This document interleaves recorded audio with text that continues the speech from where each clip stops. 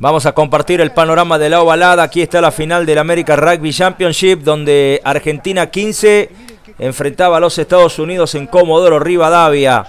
El partido terminó igualado en 27 puntos, pero el empate favoreció al equipo visitante a raíz de que sumó un punto bonus y de esta manera consiguió quedarse con el torneo. Aquí está el try del tucumano Gabriel Ascárate cuando en un momento del partido el equipo argentino se imponía con mucha holgura.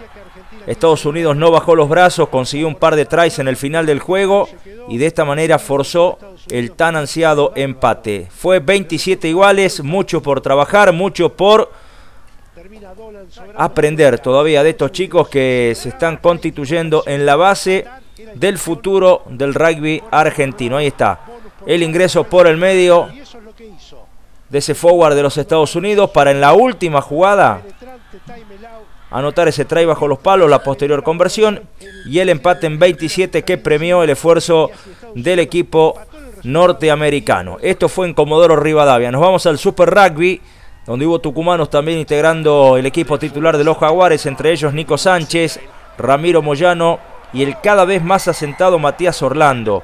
Derrota de los Jaguares, una derrota donde la indisciplina nuevamente postergó al equipo argentino.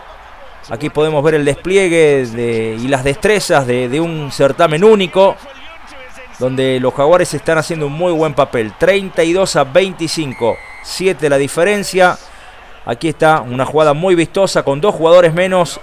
Argentina consiguió marcar este bonito try. No alcanzó, se viene el debut como local, será el sábado venidero en Vélez ante el equipo de Lions. Habló Nico Sánchez. Un partido con, con, mucha dinámica, la verdad que de aire eh, costaba estar, estar bien, ellos movían la pelota, pateaban bien, nosotros el primer tiempo nos jugamos dentro de todo ordenado, tratando de, de jugar en campo de ellos.